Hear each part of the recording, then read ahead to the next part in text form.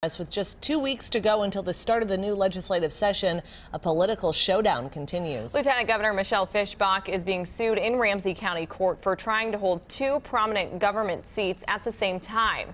This was all prompted by the resignation of U.S. Senator Al Franken earlier this year. Fischbach automatically became our state's lieutenant governor when Tina Smith was appointed to succeed Franken in the U.S. Senate.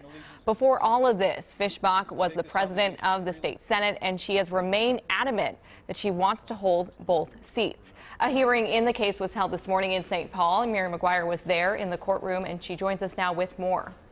Well, Ali, the political dominoes began tumbling after Senator Franken's resignation and Tina Smith's promotion. Now the issue of whether or not a person can hold two offices in two different branches of government at the same time is playing out in court.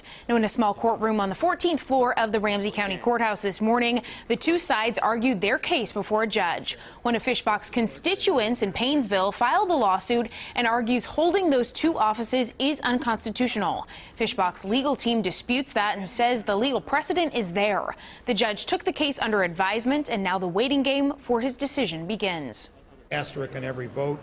I mean, that could be chaotic. It obviously it's a very close uh, uh, neck and neck Democrat Republican Senate. And um, not that everybody votes on party lines, of course they don't, but there's close votes. And uh, what we're what we're trying to say is let's not wait for an issue and have lawsuits about votes. Male senators have served in both roles before.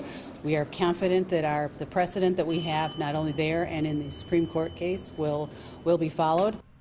Now, the new legislative session begins on Tuesday, February 20th, meaning time is running out to sort all of this out before things get underway at the state capitol. Now, both legal teams do expect the judge to decide on this issue relatively quickly. The plaintiff's attorney says he expects to learn about a decision in about a week, Ali. All right, Mary, thank you for the update.